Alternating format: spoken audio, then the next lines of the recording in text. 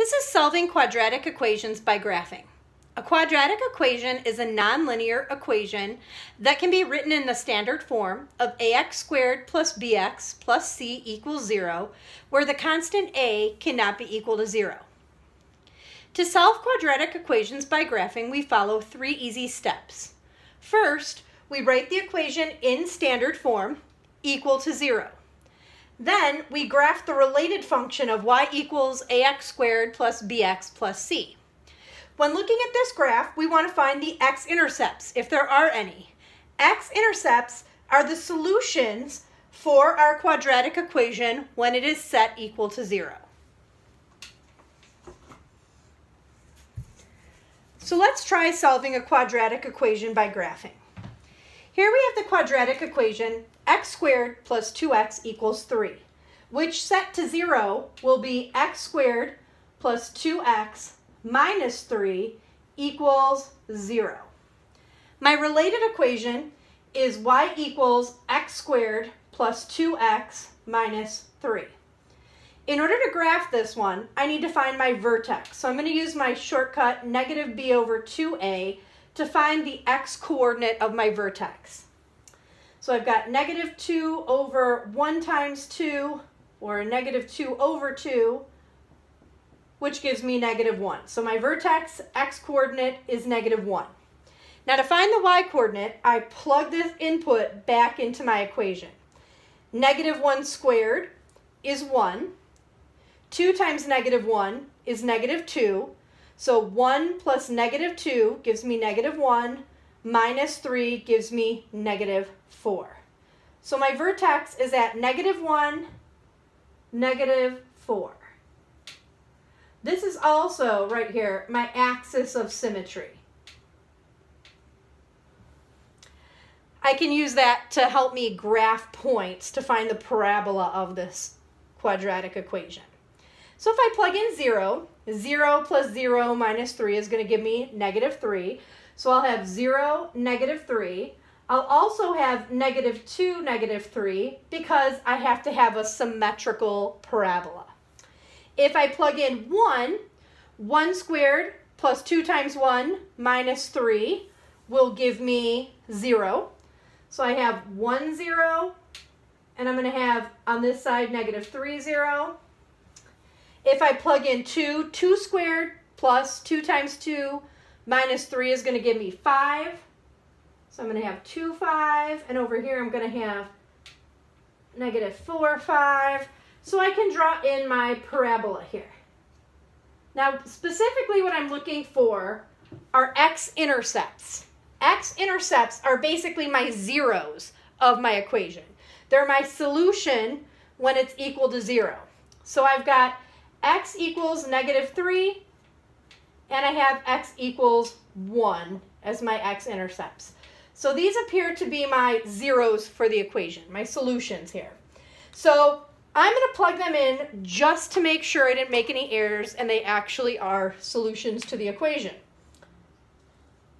I'm going to go back to my original equation and plug them in. So I had x squared, so that's going to be negative 3 squared plus 2 times x, or 2 times negative 3, and I'm hoping for an answer of 3. This gives me 9 plus negative 6, which in fact does give me 3. So this solution checks out. Let's also try 1. 1 squared plus 2 times 1, hopefully equals 3. You get 1 plus 2, which does in fact equal 3. So both solutions check out. So both negative 3 and 1 are solutions for my quadratic equation. Let's try another one. This time, I have x squared minus 8x equals negative 16. When I set it equal to 0, I'm going to have x squared minus 8x plus 16 equals 0. My related equation, y equals x squared minus 8x plus 16. And I have to find that vertex if I'm going to graph this guy. So I have negative, negative 8 over 2 times 1, basically 8 over 2, or 4. So the y, I'm sorry, the x coordinate of my vertex is 4. To get the y coordinate, I'm going to plug this input back in. 4 squared is 16. 8 times 4 is 32. So I'm doing 16 minus 32, which gives me negative 16, plus 16 is 0. So 4 comma 0 is my vertex. So here's my axis of symmetry. So I can do a few numbers on each side of my vertex here. If I plug in 3, 3 squared is 9, 8 times 3 is 24, 9 minus 24 is negative 15, plus 16 is 1. So I have 3, 1, and also 5, 1, because I want a symmetrical parabola. If I plug in 2, 2 squared is 4, 8 times 2 is 16, 4 minus 16 is negative 12, plus 16 is positive 4. So 2 comma positive 4, 6 comma positive 4. And here's my parabola. Now this parabola only has one x-intercept, that x equals 4. So it looks like it only has one solution. We do want to test that solution to make sure it works. So I'm going to plug 4 into my original equation. So 4 squared minus 8 times 4, hoping for an answer of negative 16. I get 16 minus 32, which does in fact give me negative 16. So my answer checks out.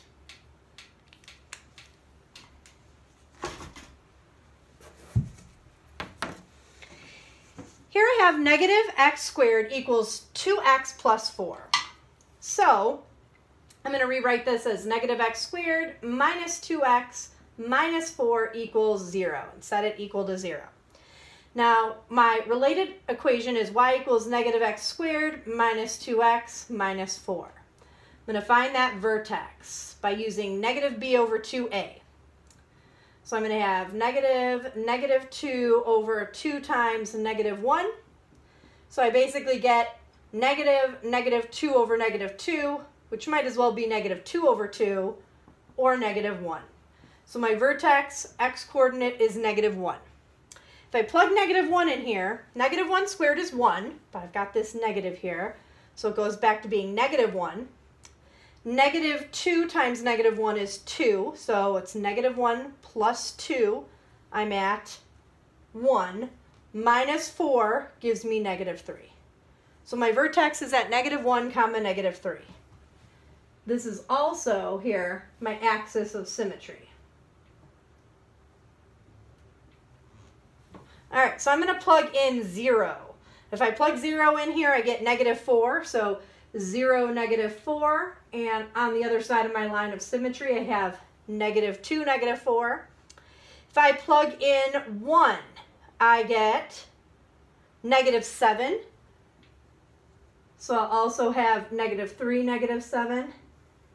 And it looks like our parabola never intersects the x-axis. So here I have no solution. So the number of solutions of a quadratic equation can vary. Two solutions occur if there's two x-intercepts, one solution if there's one x-intercept, and no solution if there's no x-intercept. If we take a look at this function, and we're asked to find the zeros of this function, we're really being asked to find the x-intercepts, where we get an output of zero, so some number comma zero.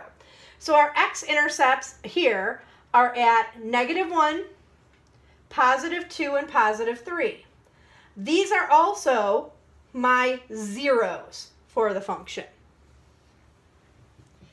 Sometimes we're trying to find x-intercepts and we can't exactly tell because it's not exactly on a um, integer. So here I see I have an x-intercept somewhere between negative 4 and negative 3 and between negative 1 and 0. So they're asking me to approximate to the nearest tenth. So I've made two charts here. Since one x-intercept was between negative 4 and negative 3, and they want me to find it to the nearest tenth, I counted by tenths, starting with negative 3.9, negative 3.8, negative 3.7, negative 3.6, all the way to negative 3.1. all of these answers were plugged into the equation, all these inputs, and I got my list of outputs. The one that is closest to having an output of zero and being a zero of the function is negative 3.7. So it's not exactly, but it is about one of my zeros. I also did the same thing for negative 1 to 0. I counted by tenths between negative 1 and 0, so negative 0.9, negative 0.8, all the way to negative 0.1. I plug these inputs into my equation, and the one that comes closest to having an output of 0 is negative 0.3. So these are the zeros of my function, negative 3.7 and negative 0.3.